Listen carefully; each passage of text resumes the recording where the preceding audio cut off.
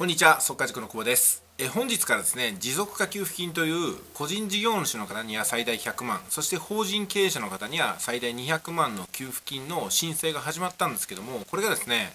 オープンして以来、ずっとサーバーダウンで、今、ログインすらできない状態ですね。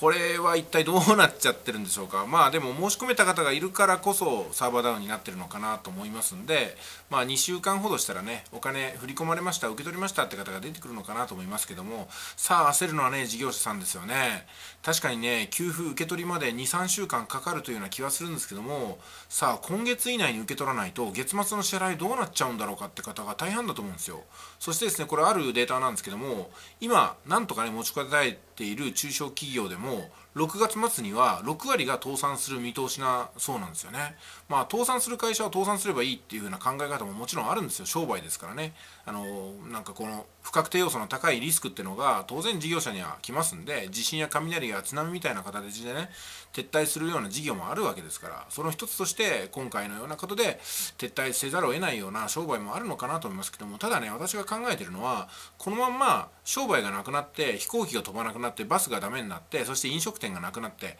観光宿泊業がなくなるとじゃあこれからですねコロナが去ってももう私たちはその日常の暮らしがねもうできないんじゃないかなっていうところまで来るわけですよ。それこそ一定の死者が出て国力が弱まってそしてあのなんですか少子化にも拍車がかかってねで今の時期学校にも行けないし近くの公園にも遊びに行けないあのテーマパークやレジャーランドにも行けないようなそんなね何の楽しみもないような若者がこれから社会に出てどんなね想像力とかクリエイティビティを発揮するのかなと思ったり社会にどんな夢を持って働いていくのかなと思ったら本当に暗淡たる気持ちがしますよね。だからといってどうすればいいのかは分かりません。私も。分からないんで、まあ、自分のできることだけやっていこうと思うんですけどもあのやっぱりね何でもかんでも自粛すればいいのかなと。やっぱ心まで自粛してしまっても本当いけないのかなと思いますしそもそもこの自粛ね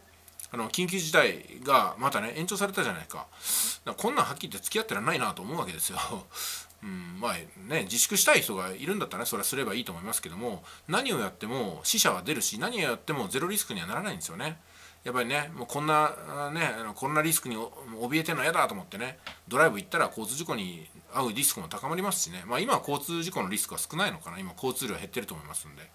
いやーまあ何とも言えないですね。とにかく今日はね持続化給付金の申し込みがいつできるんだろうかということでね。皆さんできた方いらっしゃいますか？もうできたよって方はね是非ねコメント欄にでも書いていただきたいと思いますし今 YouTube をいろいろ見ているんですけども持続化給付金の申し込みができましたって方は今のところねまだねアップロードされてないみたいなんで、まあ、今日中が下中に出ればいいなと思っております。えぜひね、給付金の申し込みができた方は、YouTube をね、アップロードするなり、Twitter でつぶやくなりして、自分はできましたっつってできない、まだできてない人にね、ちょっと安心感を与えていただきたいかなと思います。とにかくね、国がやってる制度なのに、サーバーが弱すぎるね。これは。弱すぎる。うーん、どうなってるんでしょうかちょっと民間に劣るというのはこういうところですかね。うん、なんとかね、こういうのは申し込みが殺到することが分かってるわけですから、サーバーを強化していただきたいですよね。まあそういうところに予算を組み込むんならいいんですけども、GoTo キャンペーンとかにね、1兆6700億とかかけてるわけでしょ。GoTo キャンペーンは今はいいんじゃないですかね。うん、ゴーホームキャンペーンはするべきですよ、今までもってね。えー、ステイホームでしょ。うん、なんと言いますかね。では、失礼します。